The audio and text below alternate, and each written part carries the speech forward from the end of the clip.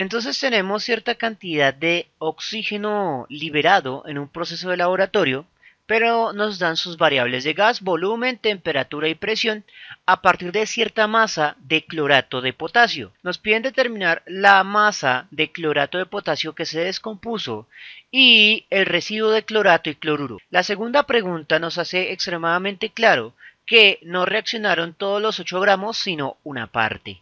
Por lo tanto, la reacción ocurrió de manera incompleta. Lo primero es escribir una ecuación química y balancearla.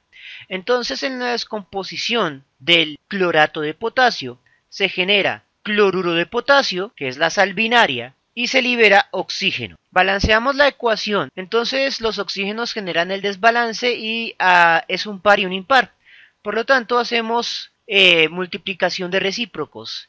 El 3 de su índice de 1 se convierte en el coeficiente del otro y viceversa. Y simplemente es balancear cloro y potasio. Muy bien, con esto ya la ecuación se encuentra balanceada. Lo siguiente es empezar a responder las preguntas. El dato que nos interesa aquí que nos facilita la existencia es que si conocemos la cantidad de sustancia del oxígeno y no hay que hacer una matemática demasiado compleja como en otros ejercicios. Lo primero que vamos a hacer es calcular la cantidad inicial de clorato que se descompuso con la cantidad de oxígeno que se recuperó. Como este ejercicio también es sensible al asunto de cantidades iniciales y finales, entonces la cantidad de sustancia de la incógnita va a ser marcada como inicial o cero, que va a ser igual a una constante por la cantidad de sustancia del dato. Esa constante de proporcionalidad es el coeficiente estequiométrico de la incógnita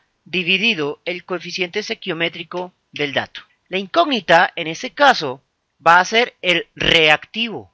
Entonces lo cambiamos por R. Solo hay un reactivo, así que es mejor que colocar KClO3. Y necesito determinar la masa. Ya saben que cuando dicen química peso es que es masa. Entonces reemplazo cantidad de sustancia por el cociente masa dividido su masa molar. Ahora, para el dato, que es el oxígeno, nos dan sus variables de gas. Así que simplemente es escribir la ecuación de los gases ideales definida para el dato. Posteriormente, despejamos la cantidad de sustancia del dato pasando RT a dividir. Esas dos ecuaciones se pueden igualar por medio del término cantidad de sustancia del dato. Y simplemente se trata de despejar la masa del reactivo que realmente reaccionó pasando la masa molar del reactivo a multiplicar. Y con eso se resolvería analíticamente el punto A. Ahora debemos determinar la masa del residuo. La masa del residuo va a estar compuesta por la masa final del reactivo, o sea la cantidad que no reaccionó, más la masa del producto sólido, que sería el cloruro, KCl. La masa del reactivo que no reaccionó se puede conocer por medio de la resta entre la masa inicial total del reactivo menos la masa inicial que sí reaccionó. Esta masa total del reactivo nos la dan que son los 8 gramos.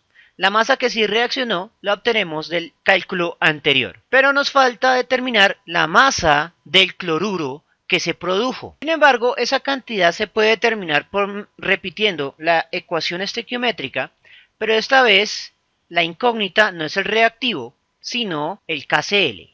Ahora simplemente sería repetir esas ecuaciones. Para ahorrarnos tiempo en el cálculo, observe que tengo dos ecuaciones en las cuales se repite un cálculo presión-volumen sobre coeficiente estequiométrico del dato R y temperatura dada.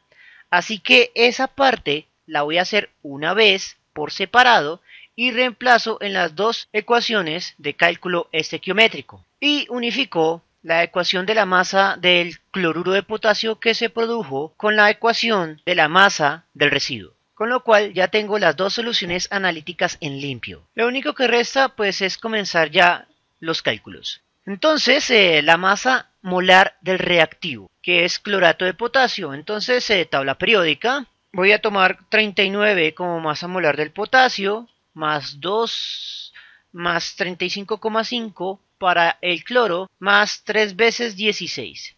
El resultado es 122,5. Importante, las unidades de la masa molar o si no esto no funciona. El coeficiente estequiométrico de esa sustancia es 2. El dato en este caso es el oxígeno y hay que hacer ese cálculo por separado. Entonces, eh, la presión dada, 560 milímetros de mercurio, el volumen dado 1680 mililitros, el coeficiente estequiométrico del oxígeno es 3, la constante de los gases ideales 0,082, atmósfera litro sobre mol Kelvin y la temperatura dada en kelvins sería 27 más 273 aproximadamente 300 Kelvin. Entonces vamos a operar primero la parte del gas para no tener que volver a repetir ese cálculo posteriormente.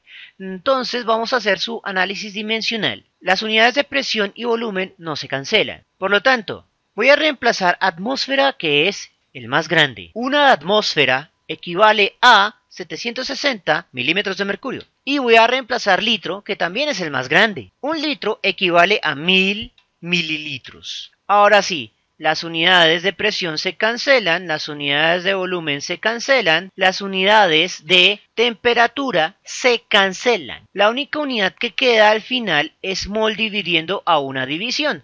Por lo tanto, pasa a multiplicar. Y lo único que resta es operar estos valores. 560 por 1680 dividido abro paréntesis 3 por .082 por 760 por 1000 por 300. El resultado 0,0168 moles. Por lo tanto, este término también se reemplaza acá. Y terminamos de evaluar la operación. Mol que divide con mol que multiplica se cancela. La única unidad que queda es gramo, unidad de masa, justo la variable que pretendemos calcular. Y operamos lo que obtuvimos anteriormente por 2 por 122,5. El resultado 4,11 gramos. Ahora la masa del residuo. Los 8 gramos, la masa total inicial del reactivo, 4,11 gramos, la masa que realmente reaccionó, la masa del cloruro de potasio, entonces eh, hay que calcularla nuevamente, será 39 más 35,5. El resultado 74,5. Importante, las unidades de la masa molar o si no esto no funciona. El coeficiente estequiométrico de ese cloruro es 2. Análisis dimensional, mol que multiplica, mol que divide, se cancela. Las unidades que quedan son gramos como un factor común a una suma y una resta, por lo tanto va a salir como la unidad de la respuesta y simplemente superar. 8 menos 4,11 más 74,5 por 2 por 0 168. Y el resultado es 6,4, bueno, dejemos 6,39 gramos del residuo. Bien, eso es todo por el momento. Espero que les haya gustado y nos vemos en una próxima oportunidad.